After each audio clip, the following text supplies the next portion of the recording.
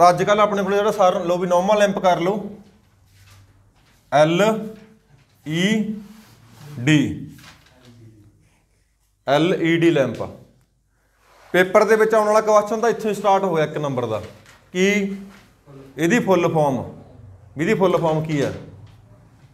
ਲਿਖ ਲਓ light emitter diode light emitter diode. ਕਈ ਵਾਰ ਇਹਨੂੰ ਮੀਟਿੰਗ ਵੀ ਪਾ ਦਿੰਦੇ ਆ। ਕੋਈ ਚੱਕਰ ਨਹੀਂ, ਗੱਲਬਾਤ ਇੱਕੋ ਹੀ ਆ। ਜੇ ਨੂੰ ਪੇਪਰ ਦੇ ਵਿੱਚ ਆਪਸ਼ਨਾਂ ਮਿਲੀਆਂ ਆਈਐਨਜੀ ਵਾਲੇ ਮਿਲਣਗੇ ਜਾਂ ਸੈਂਸ ਜਾਂ ਸਿੰਪਲ ਮਿਲਣਗੇ ਇਹਦੇ ਵਿੱਚ ਉਲਝਣਾ ਨਹੀਂ ਹੈਗਾ ਵੀ ਮੀਟਰ ਸੀਗਾ, ਇੱਥੇ ਮੀਟਿੰਗ ਆ ਗਿਆ, ਉਹਦੇ ਵਿੱਚ ਉਲਝਣਾ ਨਹੀਂ ਹੈਗਾ। ਠੀਕ ਹੈ ਲਾਈਟ ਮੀਟਰ ਡਾਇਓਡ, ਇੱਕ ਡਾਇਓਡ ਹੁੰਦਾ ਇਹ ਡਾਇਡ ਜਿਹਦਾ ਕਈ ਵਾਰ ਦਾ ਸਿੰਬਲ ਦੂਜੇ ਨੰਬਰ ਤੇ ਤਾਂ ਕੀ ਹੈ ਪੇਪਰ ਦੇ ਵਿੱਚ ਤੁਹਾਨੂੰ ਸਿੰਬਲ ਜੇ ਪਾ ਦਿੰਦਾ ਹੁੰਦਾ, ਸਿੰਬਲ ਡਾਇਗਰਾਮਾਂ ਜਿਹੇ ਹੁੰਦੇ ਨਾ ਛੋਟੇ ਛੋਟੀਆਂ ਕਈ ਵਾਰ ਦਾ ਸਿੰਬਲ ਪਾ ਦਿੰਦਾ ਹੁੰਦਾ, ਇਹਦਾ ਸਿੰਬਲ ਕੀ ਹੁੰਦਾ ਆ ਹੁੰਦਾ ਹੈ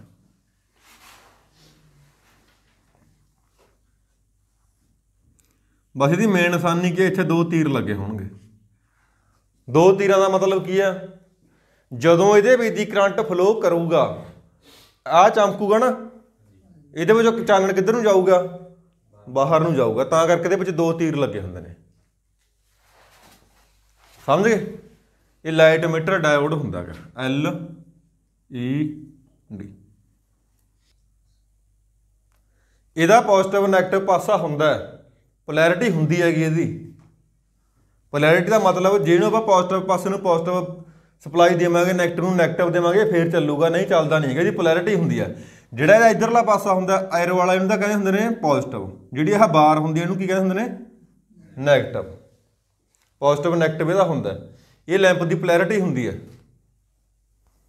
ਉਹ ਗੱਲ ਵੱਖਰੀ ਹੈ ਵੀ ਆਪਾਂ ਸਾਰੀ ਸੈਟਿੰਗ ਕਰਕੇ ਸਿੰਪਲ ਬਣਾਇਆ ਹੁੰਦਾ ਇਹਨੂੰ ਚੜਨ ਵਾਸਤੇ। ਜੇ ਆਪਾਂ ਕੱਲਾ ਲੈਂਪ ਚਲਾਉਣਾ ਹੋਵੇ ਨਾ, ਜਿਵੇਂ ਆਪਾਂ ਪਲੇਟ ਜੀ ਪੜਦੇ ਹੁੰਦੇ ਆ, ਉਹਦੇ ਵਿੱਚ ਛੋਟੇ ਛੋਟੇ ਡੈਡ ਜੇ ਲੱਗੇ ਹੁੰਦੇ ਨੇ ਐਵੇਂ। ਲੱਗੇ ਹੁੰਦੇ ਨਾ? ਸਿੰਪਲ ਵਾਲਮ ਥੋੜੀ ਹੁੰਦਾ ਹੈਗਾ।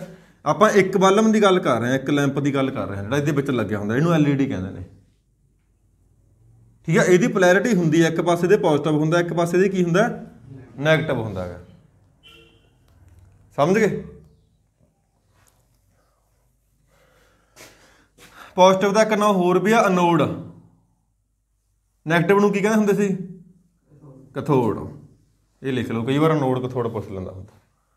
ਅਨੋਡ ਕਥੋੜ ਦਾ ਨਾਂ ਹੀ ਹੈ ਪੋਜ਼ਿਟਿਵ ਨੈਗੇਟਿਵ ਦਾ ਆਪਾਂ ਨੂੰ ਸਾਰਿਆਂ ਨੂੰ ਪਤਾ। ਅਨੋਡ ਦਾ ਮਤਲਬ ਪੋਜ਼ਿਟਿਵ ਸੀ ਦਾ ਮਤਲਬ ਕਥੋੜ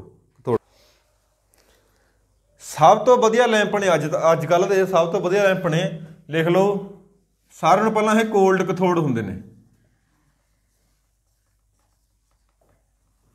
ਕੋਲਡ ਕਥੋੜ ਦਾ ਮਤਲਬ ਕੀ ਹੁੰਦਾ? ਠੰਡੇ ਲੈਂਪ ਹੁੰਦੇ ਨੇ। ਜਿੰਨਾ ਟਾਈਮ ਮਰਜ਼ੀ ਚੱਲੀ ਜਾਵੇ, ਤੁਸੀਂ ਇਹਨੂੰ ਐ ਹੱਥ ਨਾਲ ਫੜ ਕੇ ਲਾ ਸਕਦੇ ਹੋ। ਨਿੱਗੇ ਤਾਂ ਹੋ ਜਾਂਦੇ ਨੇ, ਪਰ ਇਹ ਨਹੀਂ ਹੈਗਾ ਵੀ ਦੂਜੇ ਵੱਲ ਵਾਂਗੂ ਹੀਟ ਪੈਦਾ ਕਰਨਗੇ। ਠੀਕ ਹੈ? ਕੋਲਡ ਲੈਂਪ ਹੁੰਦੇ ਨੇ ਆਪਣੇ। ਜਿਹੜੀ ਇਹਨਾਂ ਦੀ ਰੋਸ਼ਨੀ ਹੁੰਦੀ ਹੈ ਆਪਾਂ ਪਹਿਲਾਂ ਬਾਲਣ ਪੜਿਆ, ਕੋਈ ਪੀਲੀ ਪੀਲੀ ਰੋਸ਼ਨੀ ਕੱਢਦਾ ਸੀ, ਕੋਈ ਚੱਲਣ ਵੇਲੇ ਪਿੰਕ ਕੱਢਦਾ ਸੀ, ਕੋਈ ਚਮਕੀਲੀ ਕੱਢਦਾ ਸੀ, ਕੋਈ ਅੱਖਾਂ 'ਚ ਵੱਜਦੀ ਸੀ, ਕੋਈ ਅਲਟਰਾ ਵਾਇਲਟ ਕਿਰਨਾਂ ਪੈਦਾ ਕਰਦਾ ਸੀ ਕੋਟਿੰਗ ਕੂਟਿੰਗ ਕਰਕੇ ਆਪਾਂ ਨੂੰ ਸੈੱਟ ਕਰਨਾ ਪੈਂਦਾ ਸੀਗਾ, ਠੀਕ ਹੈ? ਇਹਦੀ ਜਿਹੜੀ ਰੋਸ਼ਨੀ ਹੁੰਦੀ ਹੈ ਗੁੱਡ ਹੁੰਦੀ ਹੈਗੀ, ਆਪਣੀ ਅੱਖਾਂ ਵਾਸਤੇ ਅੱਖਾਂ ਦੇ ਉੱਤੇ ਕੋਈ ਇਫੈਕਟ ਨਹੀਂ ਪਾਉਂਦੀ ਹੈ ਗੁੱਡ ਰੋਸ਼ਨੀ ਹੁੰਦੀ ਹੈ ਇਹਦੀ। ਕਹਿਣ ਦਾ ਭਾਵ ਜਿਹੜੀ ਆਪਣੀ ਐਟਮੋਸਫੀਅਰ ਮਤਲਬ ਸੂਰਜ ਦੀ ਰੋਸ਼ਨੀ ਉਹਦੇ ਨਾਲ ਮੇਲ ਖਾਂਦੀ ਹੈਗੀ, ਆਪਣੇ ਅੱਖਾਂ 'ਚ ਨਹੀਂ ਵੱਜਦੀ ਹੈਗੀ, ਠੀਕ ਹੈ? ਲਿਖ ਲਓ, ਗੁੱਡ ਰੋਸ਼ਨੀ ਨੋ ਗਲੇਅਰ ਨੋ ਗਲੇਅਰ ਦਾ ਮਤਲਬ ਕੀ ਹੈ, ਕੋਈ ਚਮਕ ਨਹੀਂ ਬਣਦੀ ਹੈਗੀ। ਨਹੀਂ ਬਣਦੀ ਹੈਗੀ ਇਹਦੀ। ਉਦੋਂ ਲਿਖ ਲਓ,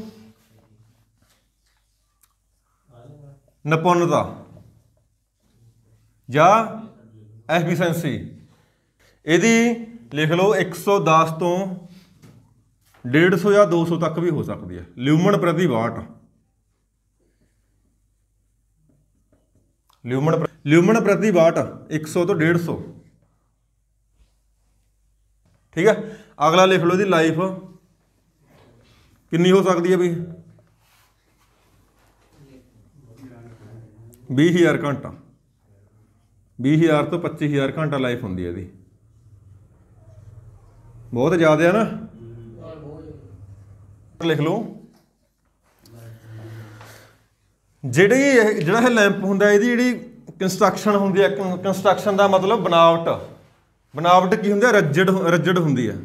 ਰੱਜੜ ਦਾ ਮਤਲਬ ਜੇ ਮੈਂ ਪੰਜਾਬੀ 'ਚ ਦੱਸਾਂ ਧੱਕੜ ਜੇ ਆਪਾਂ 10 ਵਾਰੀ ਵੀ ਡਿੱਗ ਪੈਣ ਨੂੰ ਕੁਝ ਨਹੀਂ ਹੁੰਦਾ ਹੈਗਾ। ਦੂਜਾ ਲੈਂਪ ਨੂੰ ਕੇਰਾ ਛੱਡ ਦੇ ਮੁੜ ਕੇ ਚੱਲਦਾ ਨਹੀਂ ਹੈਗਾ, ਜਿਹੜਾ ਮਰਜ਼ੀ ਲੈ ਲਿਓ। ਵੀੜੀ ਬਣਾਵਟ ਹੁੰਦੇ ਰੱਜੜ ਦਾ ਮਤਲਬ ਕਿ ਧੱਕੜ ਧੱਕੜ ਦਾ ਮਤਲਬ ਕਹਿੰਦੇ ਸਖਤ ਹੁੰਦੀ ਹੈਗੀ। ਆ ਐਲਈਡੀ ਵੀ ਬਹੁਤ ਹਾਰਡ ਹੁੰਦੇ ਨੇ ਜੇ ਆਪਾਂ ਨੇ ਪਲੇਟ ਕੱਢ ਕੇ ਦੇਖੀ ਆ ਇਹ ਨਹੀਂ ਹੈਗਾ ਵੀ ਮਾੜੇ ਨਾਲ ਖਰਾਬ ਹੋ ਜਾਣਗੇ। ਇਹੀ ਇੱਕ ਲੈਂਪ ਹੈ। ਦੂਜੇ ਮਾੜਾ ਸਿੱਟੋ, ਜਾਂ ਤਾਂ ਫੁੱਟ ਜਾਣਗੇ, ਜਾਂ ਵਿੱਚੋਂ ਫਿਲਾਮੈਂਟ ਝੜ ਜਾਊਗਾ। ਠੀਕ ਹੈ? ਇਹਦੀ ਬਣਾਵਟ ਇਹਦੀ ਆਪਰੇਟਿੰਗ ਵੋਲਟੇਜ ਲਿਖ ਲਓ। ਘੱਟ ਹੁੰਦੀ ਹੈ ਕਿ ਵੱਧ ਹੁੰਦੀ ਆ ਇੱਕ ਹੋਰ ਲਿਖ ਲਓ।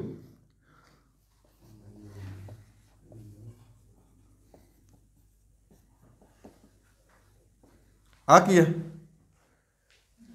ਨੋ ਬਾਰਨ ਅਪ ਟਾਈਮ ਵੀ ਮਤਲਬ ਗਰਮ ਕਰਨ ਦੀ ਕੋਈ ਲੋੜ ਨਹੀਂ ਹੁੰਦੀ ਜਦੋਂ ਸਵਿਚ ਛੱਡੀ ਨਾਲ ਦੀ ਨਾਲ ਚੱਲ ਪੈਂਦੇ ਹੁੰਦੇ ਨੇ। ਕੱਲ ਆਪਾਂ ਸੋਡੀਅਮ ਵੈਪਰ ਲੈਂਪ ਚਲਾਇਆ ਸੀ। ਪਹਿਲਾਂ 5-7 ਮਿੰਟ ਗਰਮ ਹੋਣ ਨੂੰ ਲੈਂਦੇ ਆ, ਫਿਰ ਜਾ ਕੇ ਚੱਲਦੇ ਆ। ਇਹਦਾ ਜ਼ੀਰੋ ਬਾਰਨ ਅਪ ਟਾਈਮ ਹੁੰਦਾਗਾ। ਜਦੋਂ ਸਪਲਾਈ ਭੱਜ ਕੇ ਆ ਗਈ ਨਾਲ ਦੀ ਨਾਲ ਇਹਨਾਂ ਨੇ ਫੇਰ ਚੱਲ ਪੈਣਾ। ਹੋਰ ਪੁਆਇੰਟ ਲਿਖ ਲਓ। ਨੋ ਸਿੰਕਰੋਸਕੋਪ ਇਫੈਕਟ ਦੂਜੇ ਵੱਲ ਮਾ ਹੁੰਦਾ ਸੀ ਨਾ। ਇਹਦਾ ਕੋਈ ਸਿੰਕਰੋਸਕੋਪ ਇਫੈਕਟ ਨਹੀਂ ਹੁੰਦਾ ਹੈਗਾ ਲਿਖ ਲਓ।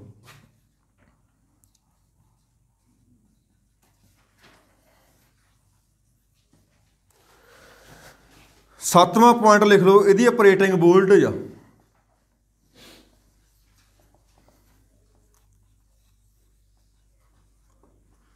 ਮੈਨੂੰ ਚੱਲਣ ਲਈ ਕਿੰਨੀ ਵੋਲਟੇਜ ਚਾਹੀਦੀ ਆ? ਹੋਰ? ਬਹੁਤ ਘੱਟ ਵੋਲਟ ਦੀ ਲੋੜ ਹੈ 1.8 ਵੋਲਟ ਦੀ ਚੱਲ ਪੈਂਦਾ ਹੁੰਦਾ ਹੈ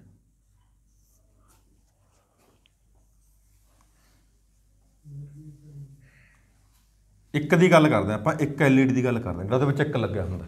ਸਾਰਿਆਂ ਦੀ ਨਹੀਂ ਗੱਲ ਕਰਦੇ। ਉਹਦਾ ਪਲੇਟ ਜਿੱਡੀ ਵੱਡੀ ਮਰਜ਼ੀ ਬਣਾ ਲਓ, ਜੇ 1000 ਵੋਲਟ ਦੇ ਚੱਲਣ ਵਾਲੀ ਬਣਾ ਲਓ। ਹੁਣ ਆ ਕੀ ਇਹ ਆਪਣੇ 12 ਵੋਲਟ ਦੀਆਂ ਪਲੇਟਾਂ ਵੀ ਆਉਂਦੀਆਂ ਨੇ 24 ਵੋਲਟ ਦੇ ਵੀ ਆਉਂਦੀਆਂ ਨੇ, ਠੀਕ ਹੈ?